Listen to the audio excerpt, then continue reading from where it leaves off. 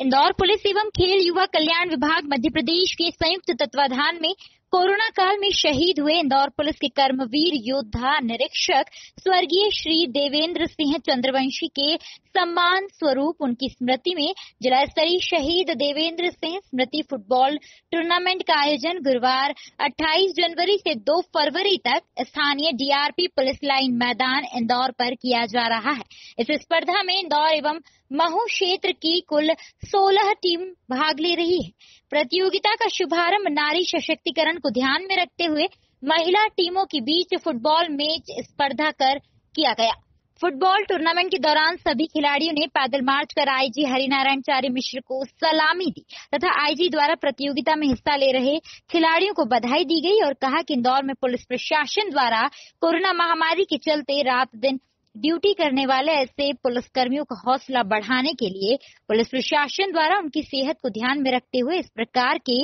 आयोजन किए जा रहे हैं। आज पुलिस लाइन में एक फुटबॉल मैच का आयोजन किया गया है। ये मुख्य तौर पर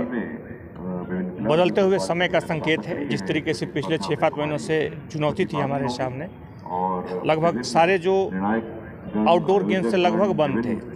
और बदलते हुए चीज़ों में जो वैक्सीन के बाद का जो समय है जिस तरह से आत्मविश्वास बढ़ा है लोगों में भय दूर हुआ है अब इस तरह के गेम्स का भी प्रचलन शुरू हुआ है और उस कड़ी में उसी संकेत के रूप में आज एक इस खेल प्रतियोगिता का आयोजन हुआ है, जिसमें फुटबॉल मैच में लगभग 16 टीमें हैं। इंदौर का एक बड़ा खेलों के मामले में गौरवपूर्ण इतिहास अतीत रहा है और उसमें 16 टीमें अलग अलग जगहों में भाग लेंगी, जिसमें अगला जो मैच होगा, अंतिम जो मैच होगा, वो दो तारीख तक चलेगा। दो तारीख को दो बजे इस पूरे कार्यक्रम का समापन होगा और उसमें विजेता टीम को पुरस्कृत किया जाएगा। सर किस तरह देखते हैं सर? क्योंकि जिस तरह आपने कहा कि कोविड का दौर निकाला है तो कहीं ना कहीं अब स्वास्थ्य की दृष्टि से इस तरह के आयोजन होना बहुत ज़रूरी है। मुख्य आज का आयोजन अगर आप देखेंगे तो कई कारणों से महत्वपूर्ण है। देखेंगे तो आज के आयोजन को मुख्य तौर पर जो हमारे साथी एक शहीद देवेंद्र चंदवंशी जो कि इसमें शहीद हो गए इस लड़ाई में,